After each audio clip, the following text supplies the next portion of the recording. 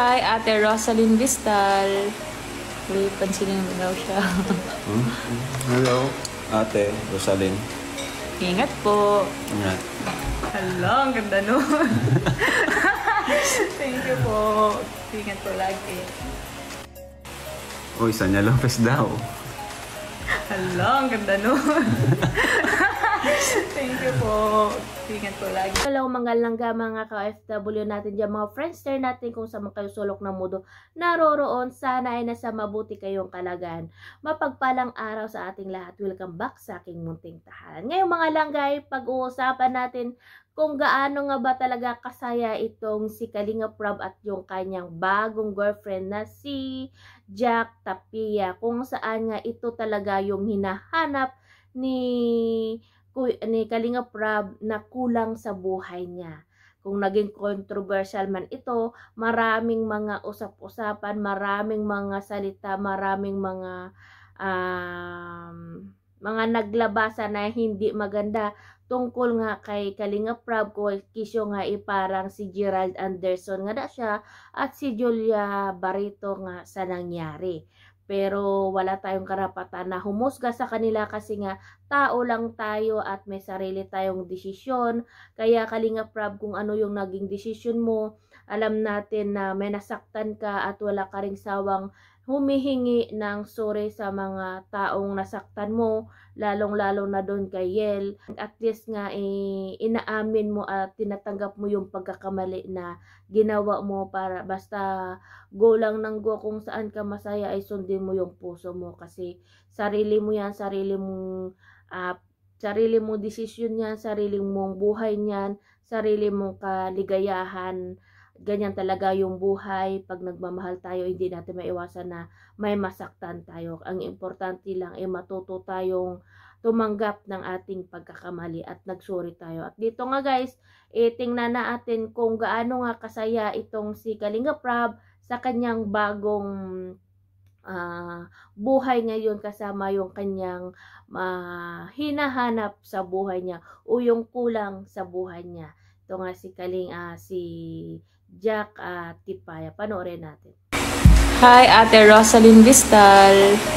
Uy, pansinin mo daw siya. Hmm? Hello, ate Rosalyn.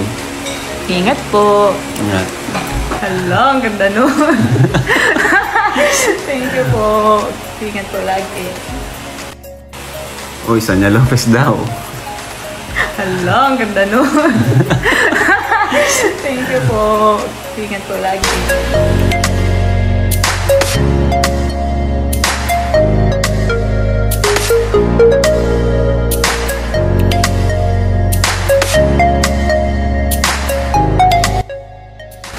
Sino? Ma'am May, 07. Hello po, Ma'am May, 0723. Shoutout po. God bless you. Ingat ka po palagi. Bye. Bye. Hala. Sino to? Ma'am Rosario Charito Alba. Pansinin ko daw? Mm-hmm. Ay, hello po, Ma'am Rosario Charito Alba. Ah, salamat po sa suporta. And God bless po. Ingat ka po palagi. Oh, ayun na. Thank you po. Bye-bye. Hello, hello Rob and Jack. Umuwi na daw ba tayo? Nako, hindi po. Yari po tayo niyan.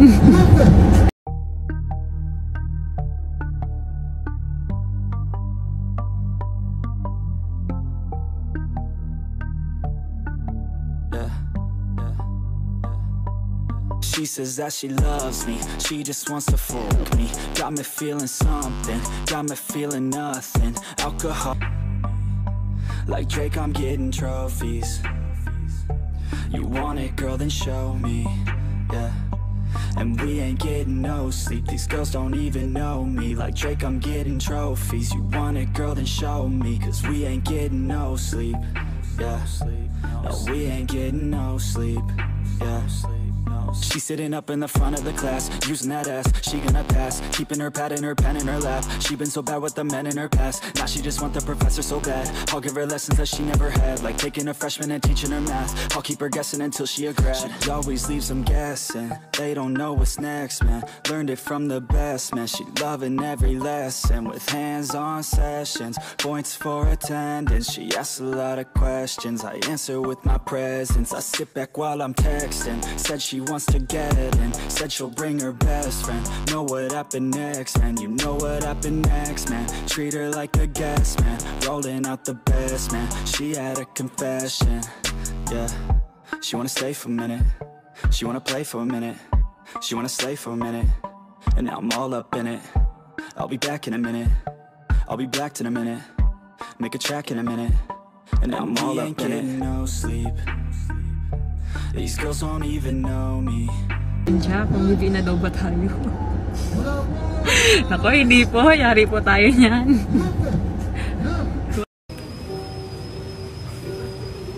Hi, Ate Nanita Dahang. Um, thank you po sa lahat ng positive comments. I really appreciate it. You're so sweet. God bless. Hmm, Hala. Pa-shoutout daw kay Ma'am May 0723. Sino? Ma'am May 0723. Hello po, Ma'am May 0723. Shoutout po. God bless you. Ingat ka po palagi. Bye. Bye. Sino to? Ma'am Rosario Charito Alba. Pansinin ko daw. Ayun. Hello po, Ma'am Rosario Chanito Alba. Ah, salamat po sa suporta. And God bless po. Ingat ka po palagi. Oh, ayun na. Thank you po. Bye-bye. Uy, Sanya Lopez daw. Hala, ang ganda nun. Thank you po. Ingat po lagi.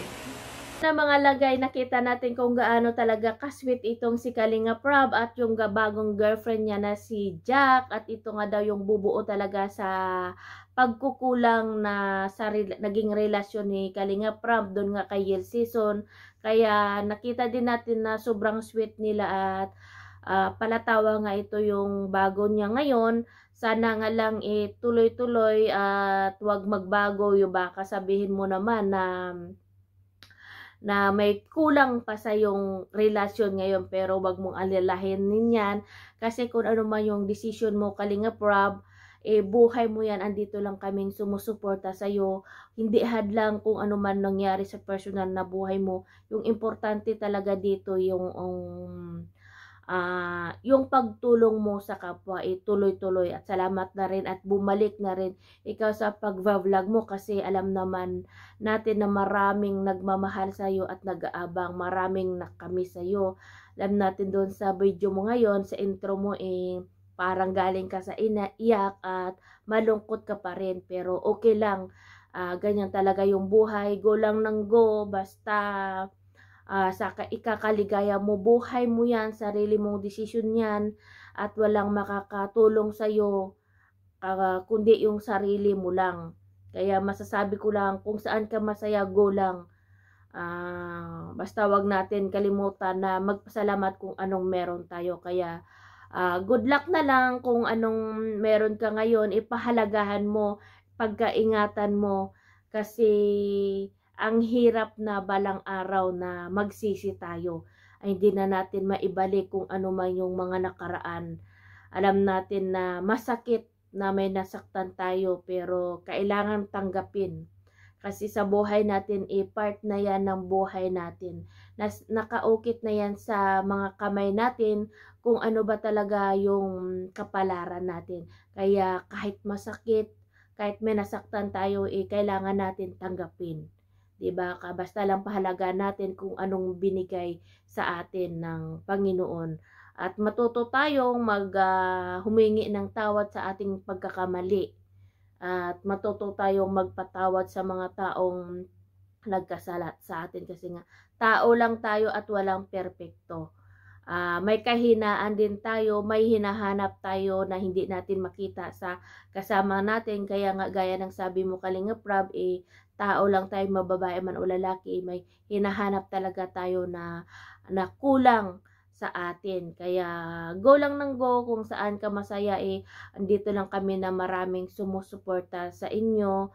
Ah, sana nga doon kay Yel, ah, maka-move on na rin siya at makapatuloy na yung buhay kung anong meron siya.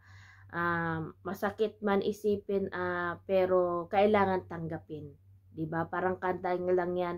Masakit man isipin ko pero kailangan natin tanggapin at para enjoy lang yung life.